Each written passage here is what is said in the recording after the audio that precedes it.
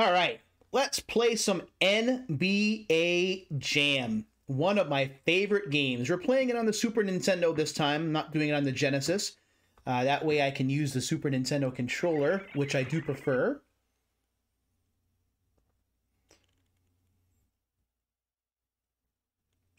NBA Jam is just, to me, it's just special. Have so many great memories of this game, although this is not the version that I got initially.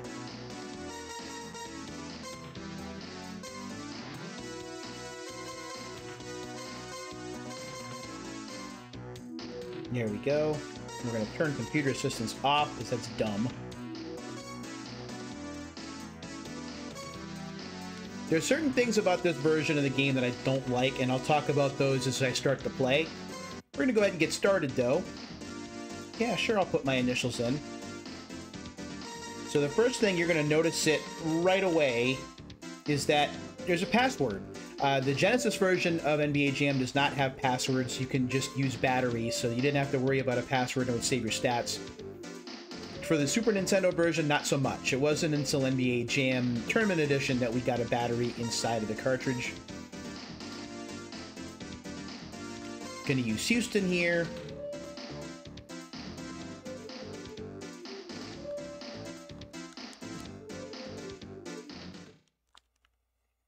And here we go.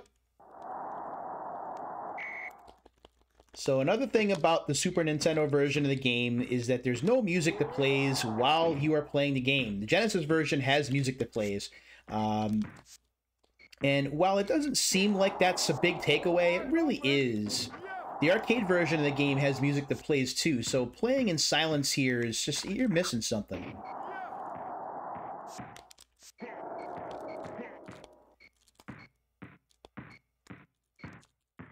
Both games look about the same. The Super Nintendo version of the game may be a little bit cleaner looking, uh, and the sound is certainly better in terms of quality. Uh, but in terms of quantity of sound bites, and again with the music being missing, it's advantage Genesis. Going for three. Nope.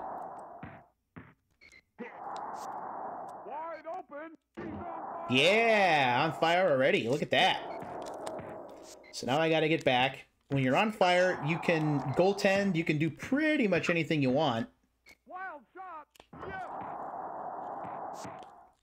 So you want to try and stay on fire as long as you can. There we go.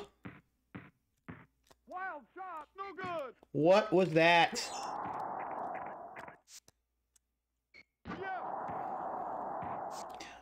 One easy thing to do to stay on fire, other than defense, obviously, which I totally screwed that up, is being able to pass the ball and assist. Uh, because when you score three baskets in a row, your fire goes out. So it's a good idea to spread the ball around. Ugh. I'm still up 10. Takes off from the free throw line.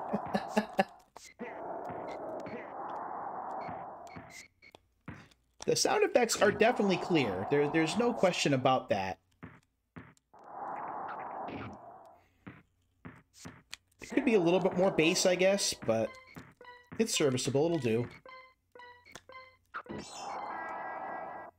So it's 20 to 8, and it moves fast. We're a quarter of the way through. We've only been streaming here for about four minutes, so we're going to be playing a game here in about less than 15 minutes.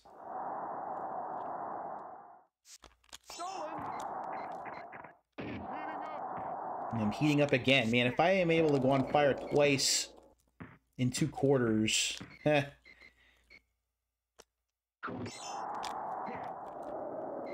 Ah, I can't believe that he wasn't there to help. Man. Yeah.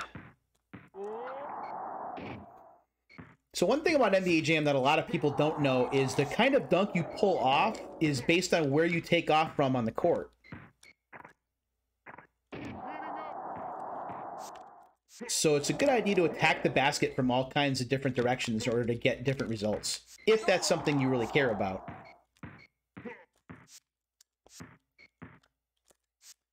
Wide open. There it is. Also, if you see yourself going for up for a dunk and you think that you're going to get blocked, it's a good idea to pass out of it.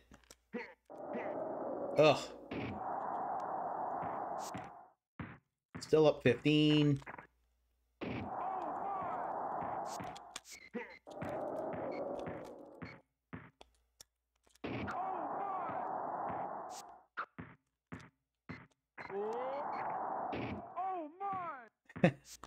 Three oh my's in a row. I think the randomizer's broken.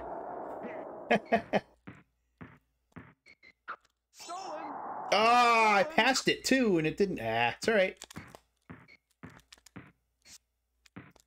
It is okay.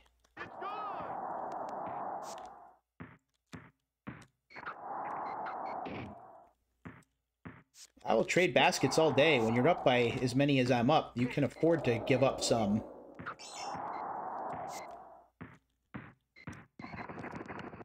The helicopter.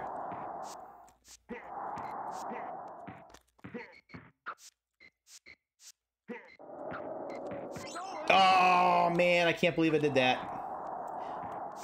That was, as they say, not smart. All right, so I'm up 19. So I'm double them up as we go to halftime. This is a reasonable copy of what you see in the arcade with that pseudo full motion video there. You don't hear Tim Kitzrow with the altitude as an attitude bit, but still, it's pretty close.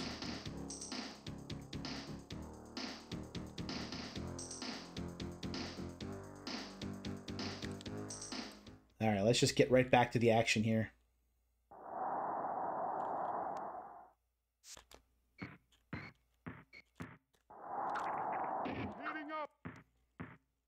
Heating up again. I wasn't able to convert last time, but I might be able to here. There we go.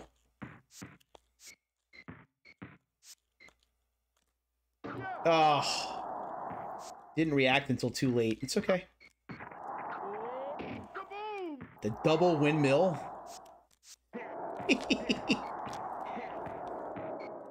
Ah, oh, this is great.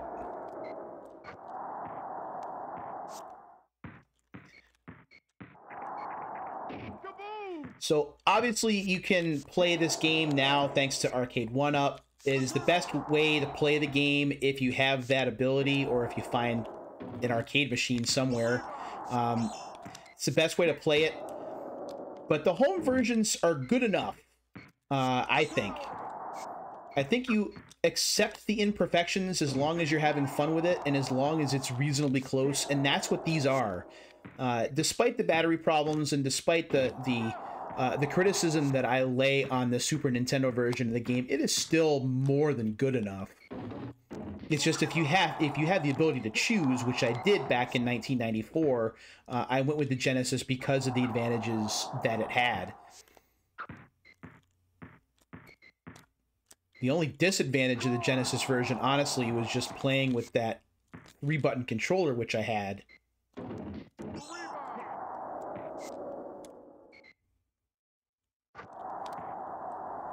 but everything else with the battery backup and the extra sound and the, the music playing in the background uh, made it worthwhile, at least to me.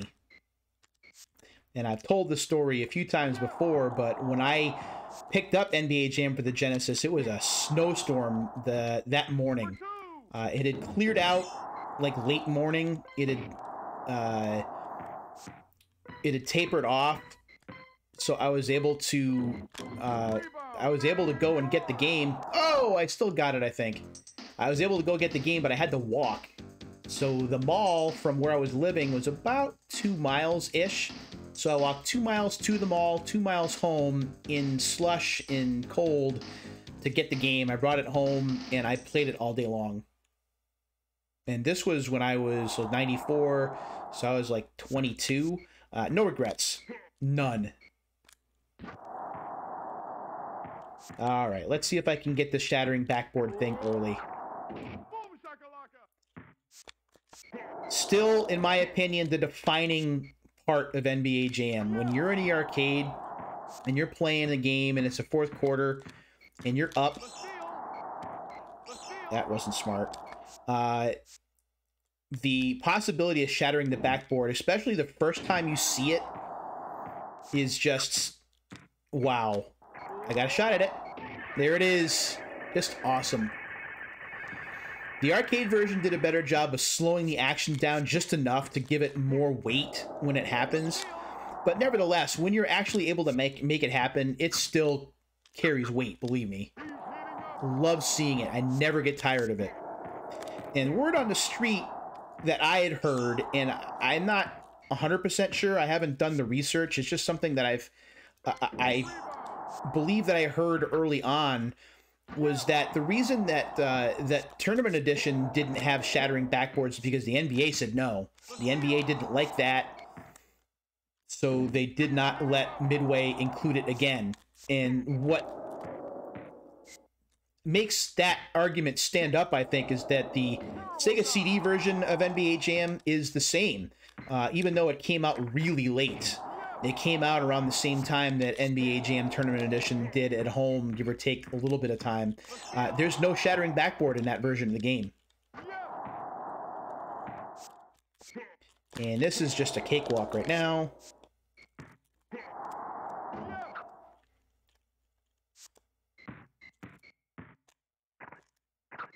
Ugh. Now, I think that the shattering backboard should have stayed in. But the NBA, as uh, if you read uh, the NBA Jam book, or if you have seen Insert Coin, maybe they talk about it. Uh, the NBA was not gung ho on this idea initially. Uh, Midway really had to sell them on it, and thankfully it worked out. Um, but it was not a slam dunk, as uh, to, to use the right term. Hakeem Olajuwon with 63 points, 22 dunks, 5 assists, 8 steals, 7 boards, too. Just dominated in this game, and I won by, what, 36? Yeah, it's kind of crazy.